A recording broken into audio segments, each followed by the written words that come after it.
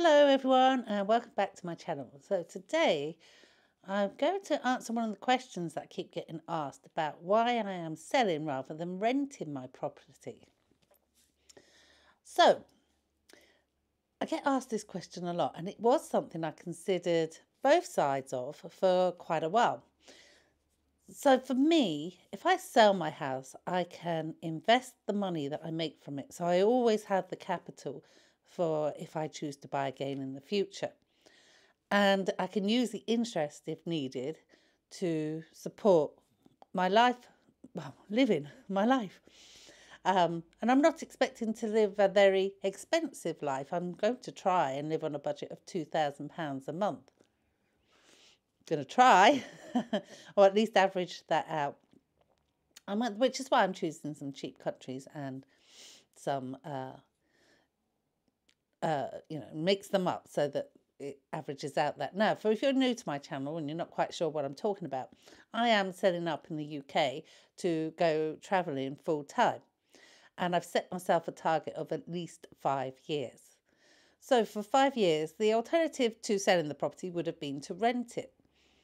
And there's a few reasons why I went against that. Um, one of them is uh, it's an emotional uh, thing is like this is my home thinking of people in my home would i ever want to come back to it if someone else had been in it? But i think that the more practical side was uh, financially i didn't think i would be any better off. I mean yes you would think over five years the value of the house would have risen and i would have had some capital but you have to think that you you collect your rent I would have to have an agent to manage it for me, so they would take a percentage. On top of that, I'd have extra fees in landlord fees, the annual checks that you have to do to have a tenant in your property, like gas checks, electricity checks. Um, and then on top of, so you've got to take all those costs out insurances, repairs, annual checks, agent fees.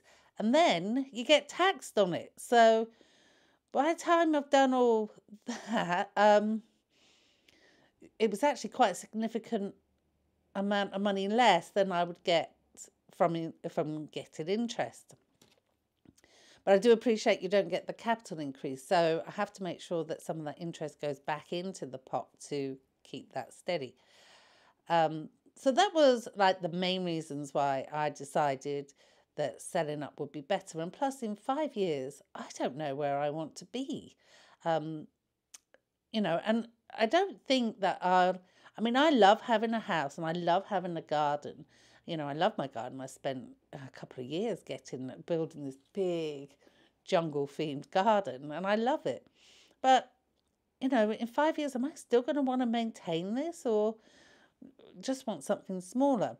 I, I moved into this house from a, a bigger house and I moved because I wanted to downsize. And now I'm thinking this house is too small, which was funny because when I was looking, I thought, uh, sorry, that I think this house is too big for me now. And when I was looking to move, I, originally I was like, oh, this house is too small because I was so used to a big house. Um, but now I've got used to this and I realise I don't use three bedrooms and I, I use the lounge. I rarely use this room. I do when it's sunny. I come in here and read, but you know, it's not like I, I, I need it.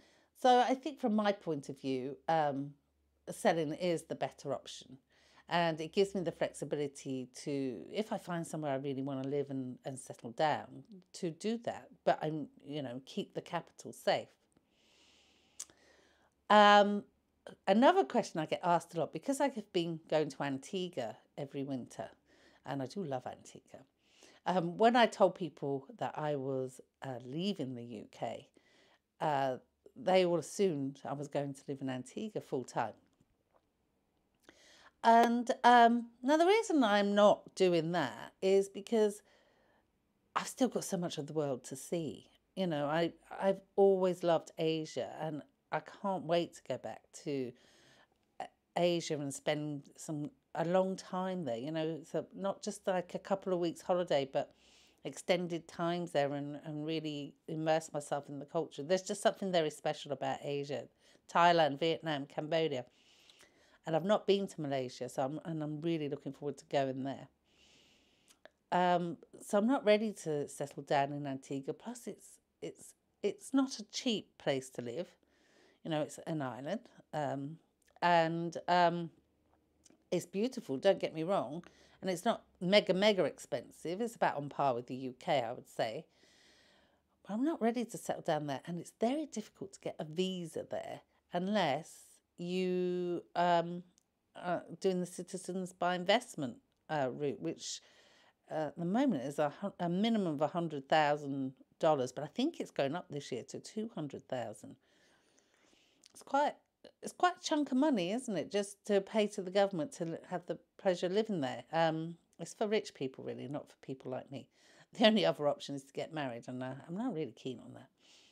Um, so that's uh, that's why I'm doing what I'm doing, and I'm excited for it. You know, I'm really, I'm really, really excited to not have a home. Um, not not well, not to not have a home. It's always nice to have a home, you know, like that's why I go to the same place in Antigua every year because that feels like a home. I've made it homely. I have my own things there. And um but you know, not to be responsible for a house anymore. So I won't have to worry about house insurance.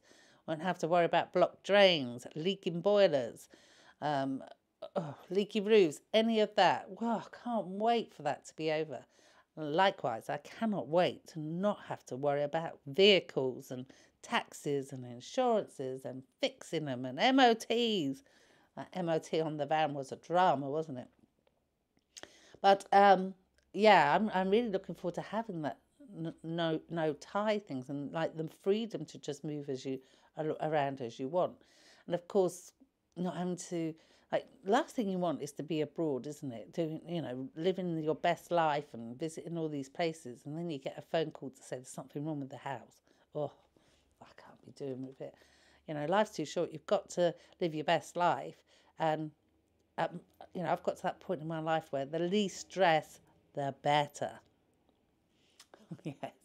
Um, so, update on the house sale. Well, I still have not heard anything, and I've chased them again this week a couple of times, both the agent and the lawyers.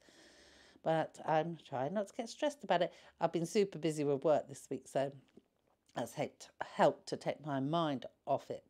Um, my son, uh, my older son, came round uh, this week to catch up because, as you know, we we work together, and uh, he could not believe how empty my house was. Mm. yeah, they're used to seeing what they would call crap everywhere, but it's my treasures. I tell them it's my treasures. And I think I finally persuaded him to store my boxes for me. When he saw there wasn't that many, he wasn't so shocked about it. So uh, I think I'm, I, I've worked on him. So that will save a lot of problems. So I don't really have much to update. So I'm still I'm still sticking to the rule of um, chucking out one bag of rubbish a day or filling a box. I always get at least one thing done a day. Um, still got furniture up for sale.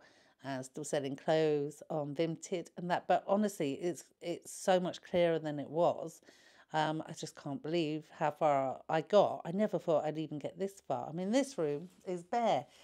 I mean, it was so full of pictures and stuff, and now it's just got the conservatory sofa, uh, sofa and chairs in it um, and the tables, and then boxes. There's boxes everywhere. Uh, and these ones aren't mine. They're going to someone else, but uh, I'm getting there, so I'm pleased with that. Um, anyway, I'm not getting stressed about anything. I'm just uh, keeping it chill.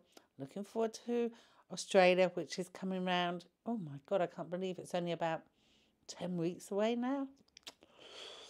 Four years planning, four years of this, and it's going to finally happen. Can't wait. Can't wait. And that will be my nice exit from the UK. And yes, I'll be coming back and forward to, you know, get planes to somewhere else. But uh, in general, I won't be living here. Anyway, let's get this house sold. Thanks for watching. I will hope to give you a better update at the weekend. Take care. Bye.